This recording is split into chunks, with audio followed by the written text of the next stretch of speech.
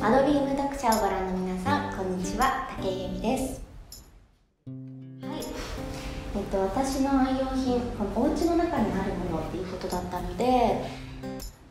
なんだろうこう気にかけてるもの。このお家の中で生き物がいるっていう存在が今ちょっとこうハマってるというか可愛くてあのちょっと頑張って可愛がってる子たちなんですけどこっちがエバーフレッシュという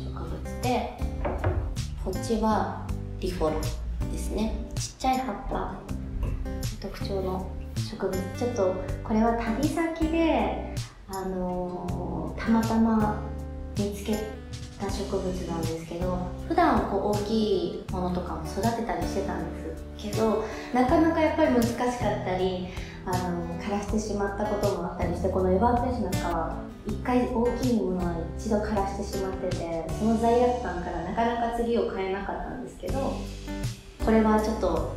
こう苔玉でちっちゃくてあの可愛いし割とこれも乾いてきたなと思ったらバケツにお水をためてそこに浸からしてあげるみたいなお風呂に入ってる感じなんですけど なんかそういうあのなんだろう手軽というかやあの育てやすい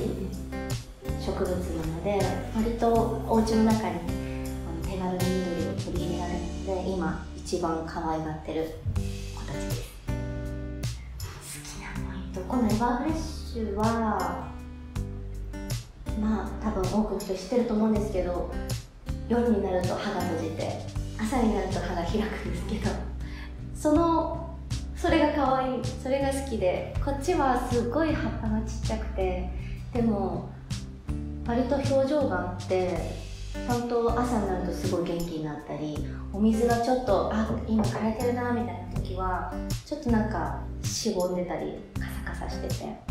なんかちゃんと生きてるっていうのをなんか間近で見られることが